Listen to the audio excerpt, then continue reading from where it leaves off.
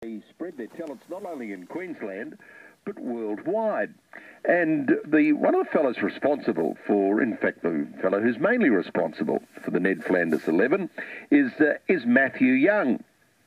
He's the captain of the side, and uh, they've got a, a, tour coming up very shortly. Well, I'll let, let Matt tell you about it because it's a really interesting story. Matt, good morning to you. Oh, John, how are you, mate? I, am good, mate. How are you? I'm very good indeed. Look, you, you, you are a side with a real cult following. Everybody in Queensland, and as I said, probably spreads even even further, yeah. know about the Ned Flanders 11. Oh, mate, we like a little bit of uh, a little bit of intrigue and fame, so we don't mind a little bit of publicity. We don't mind mind don't mind people hearing our story. We sort of hope that it maybe uh, inspires other people to do something similar to what we're doing. All right. Now, where did the, the concept of, of the Neddies, as they're known, come from? Um, we we kicked off about 15, 16 years ago, and I suppose it was just a bunch of mates that wanted to play cricket, um, you know, competitively, and uh, we were never going to play under the baggy green. We're never going to get a, a baggy maroon cap, but we thought we could have a lot of fun playing cricket anyway, and uh, we decided we'd uh, form our own team rather than sort of join another club, just so that we could sort of keep that ethos of mateship really tight, and uh, then we started stumbling on the idea that we all really love travelling and we thought we might like to try and combine our two passions, cricket and travel. Fantastic. So, how many members have you got in the um, Ned Flanders? Well, well you've got the Ned Flanders 11, but how many in the actual club? Oh, we've probably got about um, we've probably had about 120 blokes go through the team over the years, and um, probably at this stage, you know, we've probably got about a core of 15 players that have sort of embraced the idea of travelling and, and get on every tour. And then we've got all the uh, the wives, girlfriends, kids. We've got a few grandparents that come out and watch our games, and a few of the uh, grandparents have come on the tours as well. So, you know, we uh, we have a bit of an entourage. Tell you what, you're a good story for the travel companies and oh, the airlines. Yeah, they lap it up. I bet they do. Now, what have you got to do to qualify to uh, to play for the the Ned Flanders 11? Well, you've probably got to have a couple of criteria. The first one is you've got to love cricket, and yeah. the second one is you've got to be a good bloke, you know. And uh, we'll always take a good bloke over a good cricketer. That's terrific. Now, when you're at home domestically, where do you play most of your games? Oh, all around Brisbane. So we play a few games out at uh, Kianala Park at Tingalpa with all the warehouse boys, and uh, and our home ground is actually at Holland Park at the moment. Uh, so that's where we're playing our domestic stuff, and uh, we're just in the in the in the stage at the moment of winding that season down, and we're quite excited about that because once this season finishes here in Brisbane, then we're all systems go for our, our tour. I'll talk about that in a moment. Just tell us about the actual name, the Ned Flanders Eleven. when we started uh, when we started off, we uh, we approached a number of different competitions, and we were a little bit late in the season to get on board, and the only people that would take us on were churches cricket, and. Uh, without telling too many stories, we, we don't really have too much a religious affiliation that sort of links the team, and so the only religious bloke we could think of was Ned Flanders.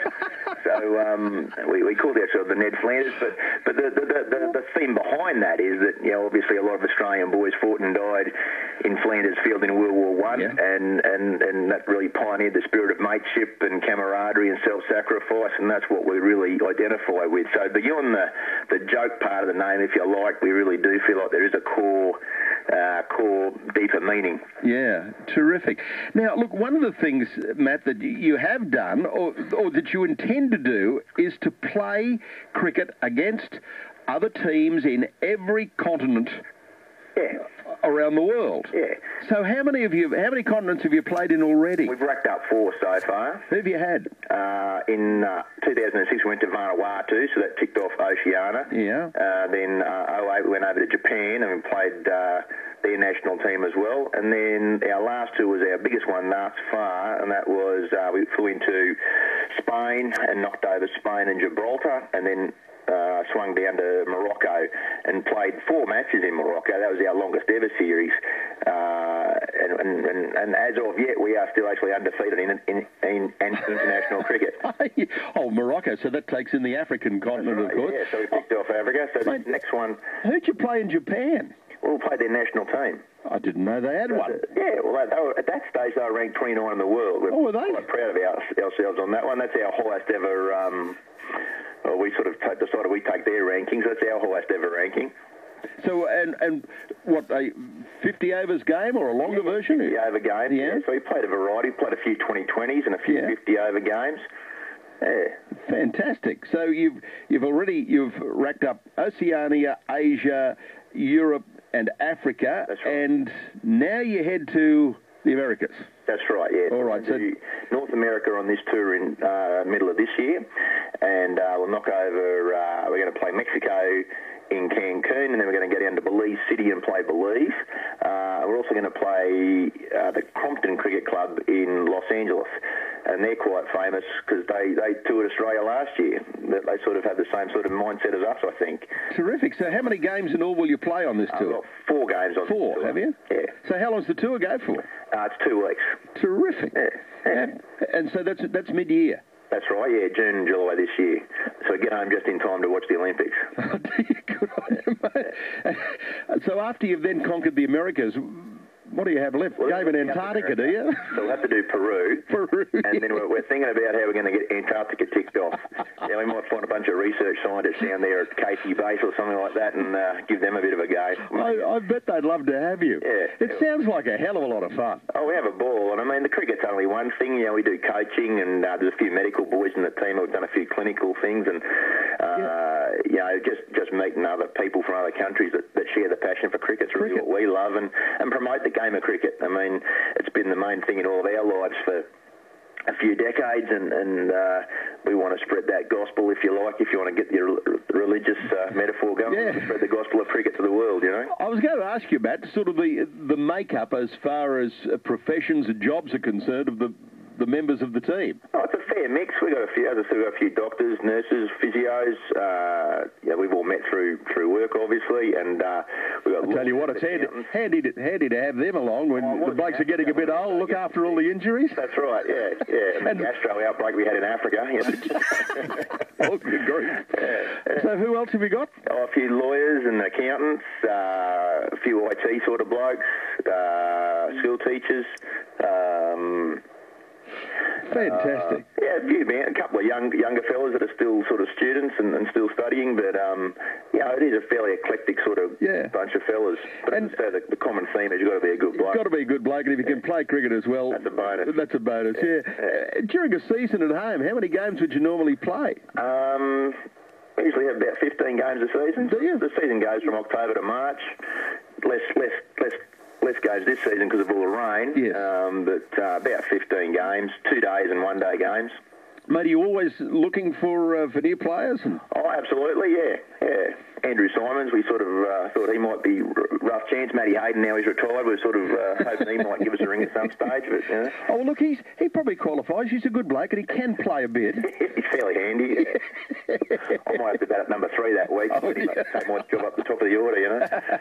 so, if they'd like, if someone would like to uh, to join or you know, inquire about it, what do they? How do they go about it, We've got, a, we've got a website. Have you? So Yeah. NFXI Cricket. So NF and, and it's Landers obviously NFXICricket.com. So all the contact details are on there. And uh, you know, if people want to get involved and, and they love cricket and they love a laugh and uh, they got a, a current passport, then we'd sort of certainly love to hear from them. Terrific. So that website again, it's NFXI, Cricket. n- standing of course for Ned Flanders 11, NFXICricket.com. Yep, Terrific. that's right.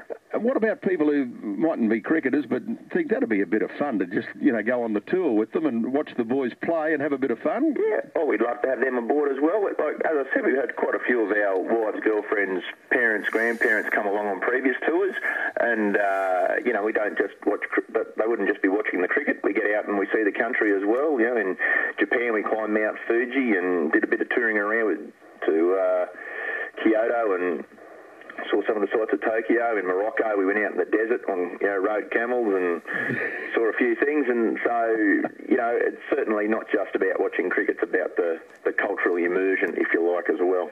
Good idea. Well, as I said earlier, uh, Matt, look, it's a, a cricket team that their name is known. People may not know all that much about them. They say, "Oh, the Ned Flanders Eleven. I've heard about them." So now you know a bit of the the uh, of the background of them. It sounds like just a, a, terrific mob of fellas, and not only the fellas, of course, all of the, the partners as well. Absolutely. And you said grandparents and you name it, they're all involved. Yeah. Good on you, mate. Terrific. Thanks your interest, mate. Terrific to talk to you, Matt, and I, am sure there'll be a lot of people will uh, will be perhaps young blokes be interested in having a game and joining a, uh, a place where you can just have a lot of fun and uh, enjoy your cricket and enjoy the camaraderie of all of your teammates and do a fair bit of travelling. So good luck with that uh, tour to the United States and Mexico and down to Belize. It'll be just wonderful. Might have a chat to you when you get back, mate, and see how it went. I love I love talking about the Flanders, mate. Good on you. Good on you. Thanks, mate. Good to talk with you.